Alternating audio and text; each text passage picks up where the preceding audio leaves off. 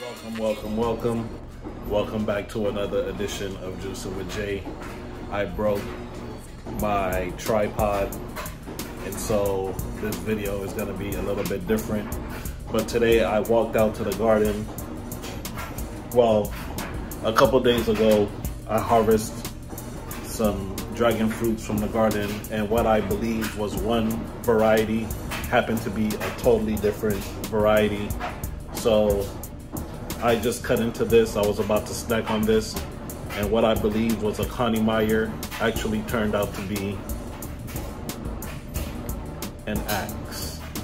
So this is a new variety.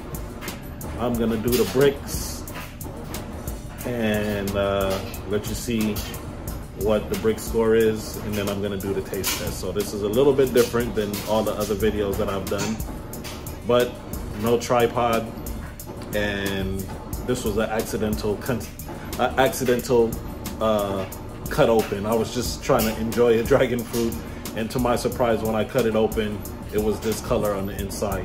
A beautiful, beautiful pink on the inside. So stand by for the Brix. Hey guys. So the Brix score on this variety was 20. All right. So now I'm gonna taste it and I'll let you guys know what it tastes like. It's a little bit difficult tasting without my tripod, but let's go.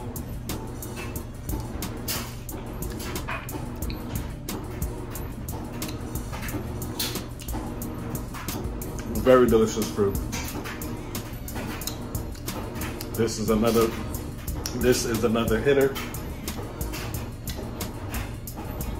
Once again, green on the outside, pink on the inside.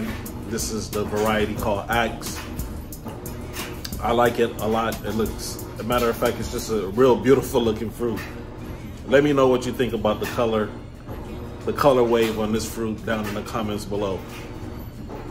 Man, this is a very delicious fruit. So anyway, uh, you know the motto on the page. If you haven't already subscribed, please go ahead and hit the subscribe button. Please go ahead and hit the thumbs up button. You know the motto on the page, each one teach one.